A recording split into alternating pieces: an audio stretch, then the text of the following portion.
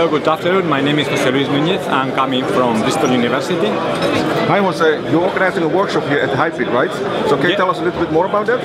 Yes, I'm organizing a workshop in uh, energy efficient with heterogeneous computing. So basically, the idea of this workshop is to study how cores with very different microarchitectures could be combined for an energy efficient purposes. So we are looking at uh, processors with uh, the same uh, instruction set, but with different complexities. For example, big little from ARM. These are A7s and A15s combinations. Also, we look into how uh, accelerators uh, like GPU, embedded GPUs could be used in there. And, uh, and now it's very interesting to see at how we can use FPGA kind of reconfigurable computing resources.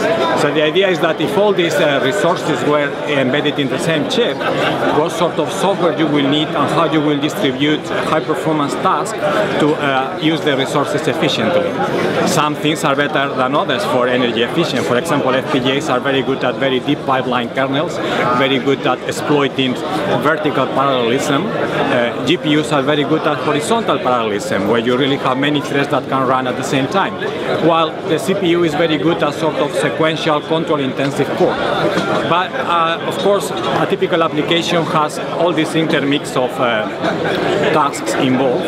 And our objective here is to see how we distribute tasks, how we schedule tasks, how we use things like voltage scaling, adaptive voltage scaling, and frequency scaling. So uh, the task run in the most optimal resource at any given time. Thank you very much. Thank you.